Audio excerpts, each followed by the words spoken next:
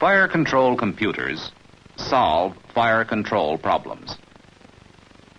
Their solutions depend upon own ship's course and speed, target's range, target's bearing, target's course and speed, wind speed and direction, initial shell velocity, and other factors up to a possible total of 25.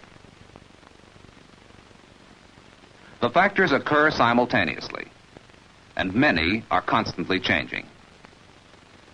But the computer continuously and instantly solves the problem and sends the answer to the guns as train and elevation orders. A computer cannot do this without men. For example, men operate the director, which sends target range and bearing to the computer. And here at the computer, other men set in other information. Obviously, computer accuracy depends on the quality of the information it receives. And that depends on the skill and understanding of the men. If you look inside a computer, you find an impressive assembly of basic mechanisms. Some of them are duplicated many times in one computer. A first step toward understanding a computer is understanding these mechanisms. This film, Part 1, describes four of them.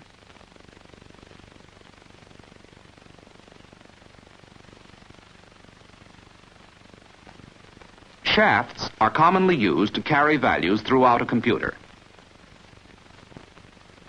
One revolution of a shaft is assigned a numerical value.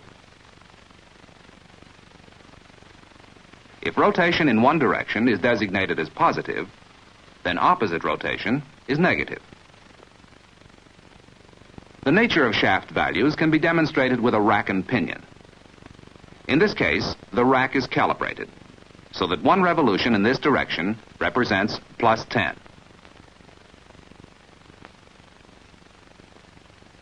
Continuing with a half revolution, shaft value now is plus 15.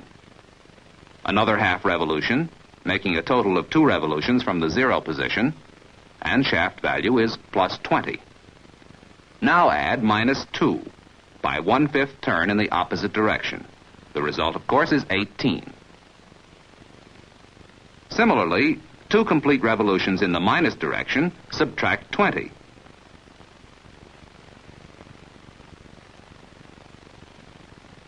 And in this case, the result is minus 2. The rack and pinion were used here to demonstrate the nature of shaft values. In practice, racks and pinions may be used to translate shaft values to corresponding linear movement.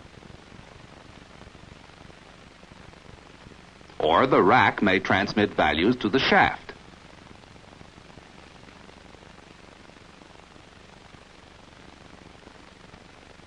Gears are usually used to transfer values from one shaft to another.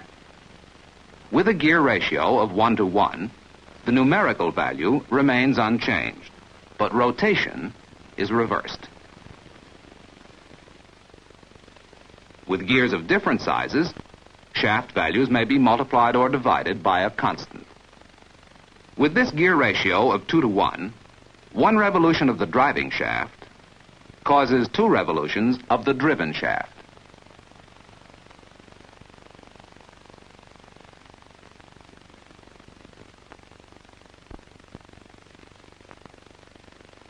Cams may be used as computing mechanisms.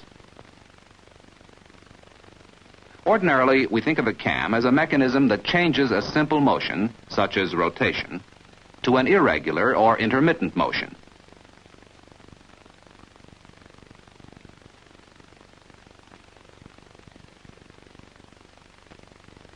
All cams have a working surface and a follower. The working surface may be an outside edge like this, or it may be the walls of a groove. The follower may be a roller, a ball, a pin, or some other device that slides or rolls on the working surface. Different working surfaces are designed to do different jobs. To show in a general way how working surfaces are designed, suppose we take as an example the problem of changing rotary motion to corresponding linear motion. Let's say that one shaft rotation is assigned a value of 10. For a shaft value of 1, suppose we want the follower to move this distance. Then for a shaft value of 2, the follower must move twice as far. Three times for 3, and so on. The purpose is to establish the shape of the working surface for this particular problem.